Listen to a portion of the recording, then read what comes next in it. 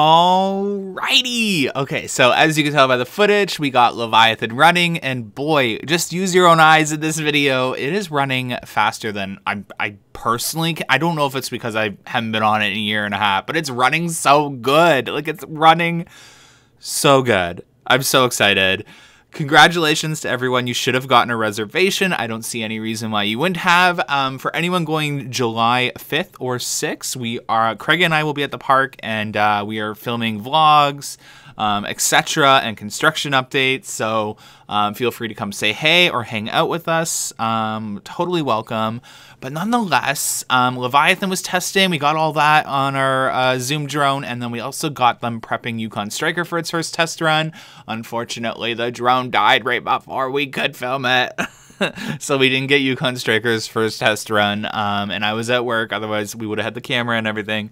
But nonetheless, we will get Yukon Strikers test run. Don't worry. Um, and uh, yeah, super excited. I hope you guys are excited. Um, you can watch the whole video to watch Yukon Striker getting prepped or the trains are all out and all that. Um, or you could just keep watching Leviathan's test run. I just had to update you guys and um, Again, if you still have any questions about booking or reservations, ask them down below. Any questions about Wonderland, ask them down below. Try and answer them to the best of my ability.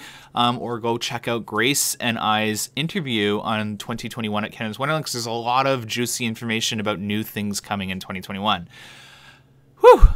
It is literally 1:46 in the morning. I am recording this video. You guys are gonna watch it at nine in the morning or whenever you end up watching it today or tomorrow. Um, but thanks so much for watching and supporting the channel. Um, now just enjoy some awesome footage of Leviathan testing. Have a good one, guys. Bye.